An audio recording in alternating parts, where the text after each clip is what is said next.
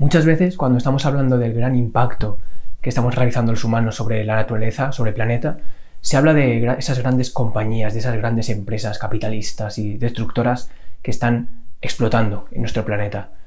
Pero a la hora de sacar nombres, nos solemos quedar muy cortos, no sabemos quiénes hay detrás. Y la realidad es que muchas de estas corporaciones, que son las que realmente están realizando un gran impacto en nuestro planeta, están en la sombra. Sus nombres no son muy conocidos. Hace un año sacamos un vídeo hablando de cinco grandes empresas contaminantes que estaban destruyendo el planeta. Ha pasado ya bastante tiempo, me ha crecido un poco el pelo, he mejorado un poco para hacer vídeos y hoy vamos a realizar la segunda parte de ese vídeo con tres nuevas empresas que a su manera están destruyendo el medio ambiente. Bienvenidos, bienvenidas a Carbono Vivo. Fujian Pintang County Ocean.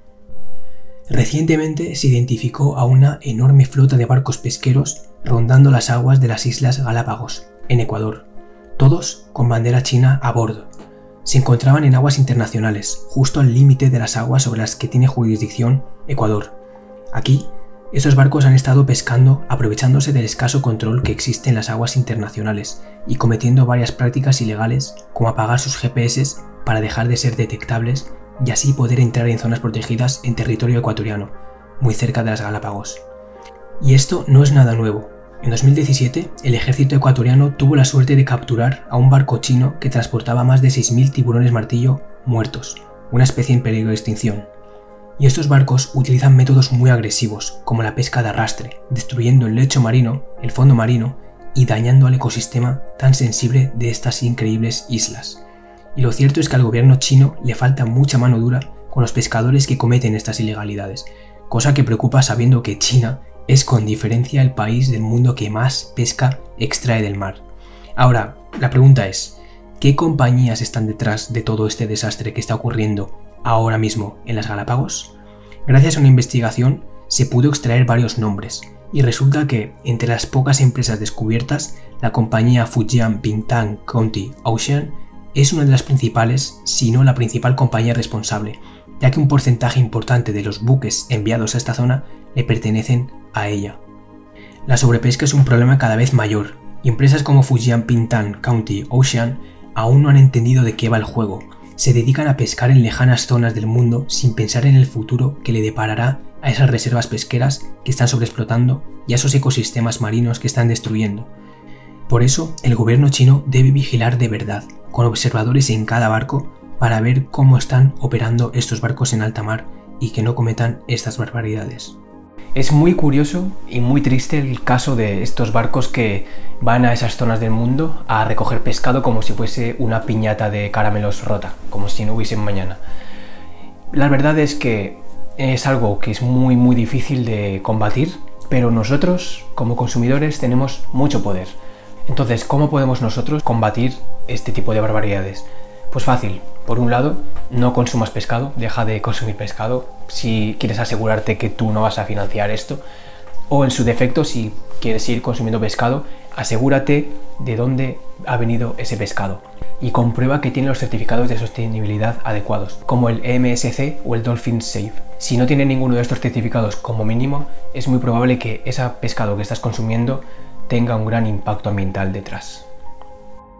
Forever 21 Forever 21 es uno de los claros ejemplos de compañías basadas en la fast fashion, esa mentalidad de comprar ropa barata siguiendo modas para pronto desecharla por su mala calidad o por estar pasadas de moda, perpetuando así un sistema de producción insostenible. Y es que producir vaqueros que se van a vender por 12 euros es algo imposible si no lo haces ahorrándote algunos costes, costes laborales y costes ambientales. Todos sabemos que las compañías fast fashion producen su ropa en países en desarrollo como Vietnam India o Bangladesh, ahí donde las leyes de protección de los trabajadores y del medio ambiente son muy relajadas, y se les permite, por ejemplo, pagar extremadamente mal a sus empleados o hacerles trabajar larguísimas jornadas laborales, incluso poniendo a trabajar a niños menores de 10 años, cosa que podéis ver en este gran vídeo de Lethal Crisis, donde se muestra esta realidad. Nosotros nos vamos a centrar en los costes ambientales que se ahorran estas empresas, y es que hay muchas partes en las que la industria textil destruye y realiza un gran impacto al medio ambiente.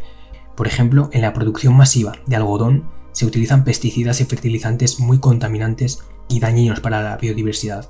En las fábricas textiles de países pobres no están obligadas a depurar el agua que han contaminado con químicos, por eso es bastante normal que los ríos y las aguas de alrededor de las fábricas de ropa estén coloradas y llenas de sustancias tóxicas, como consecuencia de los vertidos incontrolados que estas empresas realizan. Una víctima clara es por ejemplo el río Yangtze, en China, donde vivía el famoso delfín de río, declarado extinto en 2006, o el pez remo gigante, declarado extinto en 2019, y donde aún hoy miles de fábricas vierten sus aguas contaminadas sin tratarlas, amenazando así a otras tantas especies que siguen viviendo en el río. Forever 21 es una de las gigantes de la fast fashion del mundo y, como no, basa la mayoría de su producción en Vietnam, China e Indonesia, por lo que es una de las responsables clave de esta destrucción del medio ambiente. Además, Forever 21 también destaca por otro asunto, la lana. Una ruidosa campaña de la ONG PETA destapó que Forever 21 obtiene la lana que utiliza para confeccionar sus prendas de granjas australianas en las que se maltrata y tortura brutalmente a las ovejas cuando se les esquila, tal y como corroboran muchos vídeos de gente infiltrada.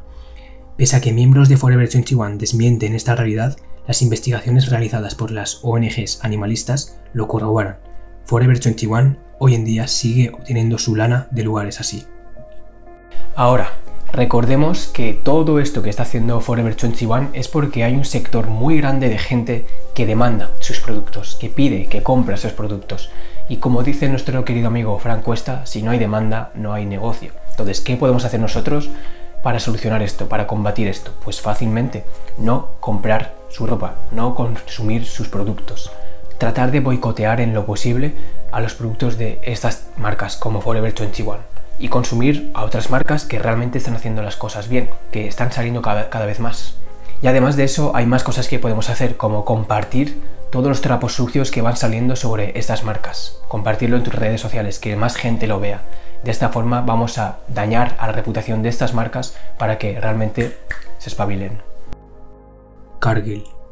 Es probable que no conozcas el nombre de Cargill, pero Cargill, la segunda compañía privada más grande de los Estados Unidos, ha llegado a ser nombrada, según algunas organizaciones, como la peor empresa del planeta por el enorme impacto ambiental que conlleva su actividad. Y es que si alguna vez habías querido ponerle cara a los culpables de la deforestación de la Amazonia, este logo es un buen representante. Cargill es una de las principales empresas que hay detrás de la tala de árboles en la Amazonia, ya que se dedica a la exportación de productos agrícolas como el trigo, el maíz o especialmente la soja, los cuales obtiene a partir de proveedores locales que arrasan frecuentemente con el bosque amazónico para instalar y expandir sus campos agrícolas. La deforestación del Amazonas es un tema del que todos hemos oído hablar hasta la saciedad. Por eso ya no nos mueve tanto ni nos impacta tanto oír hablar de ello. Pero la realidad es que es un tema muy serio, ya que si el ritmo de tala continúa a este ritmo, se podría producir un colapso del ecosistema en el que la selva amazónica se secaría por completo. Y esto, explicado resumidamente, ocurriría porque la tala de árboles afecta al ciclo de agua de la selva. ¿Veis estas nubes que se ven en la selva? no vienen del cielo, vienen de los árboles que expulsan esta agua a través de sus hojas en un proceso llamado evapotranspiración. Es decir, la selva genera su propia lluvia. Pero si cada vez hay menos selva, cada vez va a haber menos lluvia.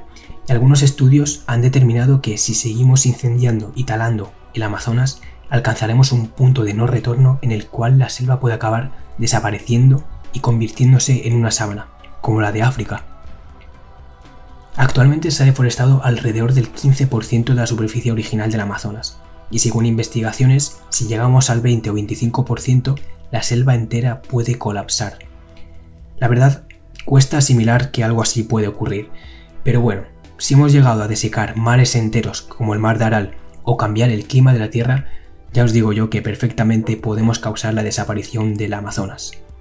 Por eso es crucial que los peces gordos de la industria agrícola como Cargill, responsables directos del gran daño que se le está haciendo a las selvas tropicales del mundo, dejen ya de financiar la deforestación del Amazonas antes de que sea demasiado tarde, comprando solo a proveedores que garantizan la conservación del Amazonas. Realmente es muy triste y muy terrorífico lo que está pasando ahí, en el Amazonas, al igual que está pasando en otras tantas selvas tropicales. Pero lo cierto es que hasta ahí nosotros tenemos parte del poder, ¿vale?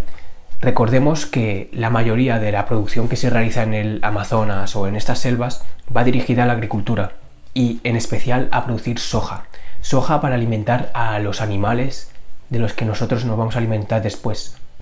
Por eso, una buena forma por la que nosotros podemos combatir eh, este gran impacto, esta gran deforestación, es reducir el consumo de carne, de huevos, de leche, de productos que tienen, que consumen una gran soja detrás. Es una de las mejores formas que existen hoy en día para combatir la deforestación. Así que eso es todo. Como veis, realmente hay solución para todo lo que está pasando en el mundo. Hay una solución que se puede aplicar, pero que por intereses económicos, por intereses egoístas humanos, no se están aplicando. Por tanto, nosotros, que somos los consumidores, que tenemos un enorme poder detrás, podemos votar, podemos hacer que poco a poco las cosas vayan cambiando. Si nosotros, todos, cambiamos nuestro comportamiento a la hora de consumir ciertos productos, vamos a hacer que al final las compañías también lo hagan. Así que muchísimas gracias por ver el vídeo y nos vemos pronto. Un saludo y hasta luego. Chao.